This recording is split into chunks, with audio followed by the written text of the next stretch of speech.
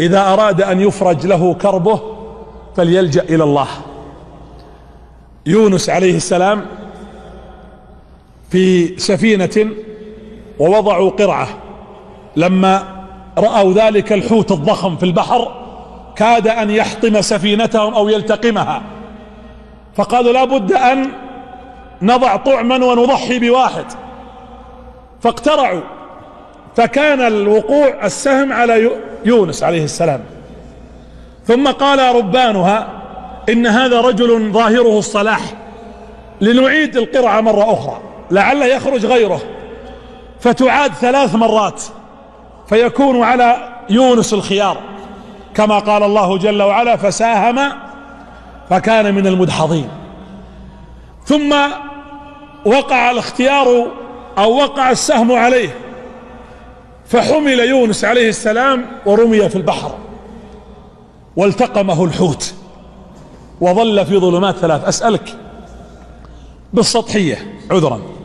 لو قفل عليك باب الغرفة في مكان مهجور ثم قفل عليك باب البيت الذي فيه الغرفة ورمي المفتاح في باب حديد ولا زاد ولا طعام ولا هواء ولا ضوء ولا بشر ولا شيء ثم ذهب الذي أقفل ذلك الباب وله المثل الأعلى. كيف سيكون حالك؟ يونس ما تغير ارتباطه بالله لأن تغير المكان والظروف لا تغير قلبا تعلق بربه جل في علاه مطلقا موحد. في ظلمات ثلاث ظلمة ليل ظلمة البحر وظلمة الحوت ومع ذلك كان التوحيد حاضرا. لا إله إلا أنت. سبحانك إني كنت من الظالمين. فجاءت الإجابة بعدها فنجيناه. لا يمكن أن تدعو بهذا الدعاء وهذا دعاء كرب. لا إله إلا أنت. سبحانك إني كنت من الظالمين. جمع بين التوحيد والاستغفار كما قال الله لمحمد قبل أن تبدأ رسالتك قبل أن تزاول دعوتك قبل أن تقوم بمهمتك فاعلم أنه لا إله إلا الله واستغفر لذنبك. اجمع بين التوحيد والاستغفار. تجد الفرج ينفتح عليك. الله جل وعلا قريب من يونس ولا لا؟ حينما يقول الله جل وعلا أنه قريب مجيب.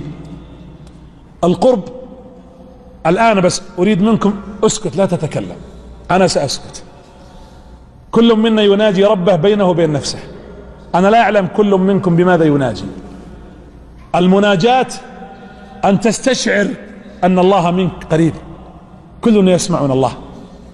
الله يعلم ما كان وما يكون وما هو كائن وما لم يكن لو كان كيف يكون. فالذي في في نفسك قريب يسمع ويجيب. ولذلك يونس لا إله إلا أنت سبحانك إني كنت من الظالمين. في بعض الروايات أن هذا الصوت حينما ارتفع لأن الله يقول إليه يصعد إيش؟ الكلم الطيب والعمل الصالح يرفعه. ارتفع صوت يونس موحدا مستغفرا مناديا. قالت الملائكة يا ربي صوت معروف من عبد معروف أين هو حتى ننقذه؟ قال هذا عبدي وسوف أنقذه. فاستمر قيل أربعين ليلة وقيل أربعين شهرا وقيل أكثر من ذلك. وهو يردد كلمة التوحيد. فقال الله جل وعلا فلولا أنه كان من المسبحين للبث في بطنه إلى يوم يبعثون. ونصيحتي لكل مكروب ونادي إذا سجدت له اعترافا. كما ناداه ذنون بن متى وأكثر ذكره في الأرض دأبا لتذكر في السماء إذا ذكرت.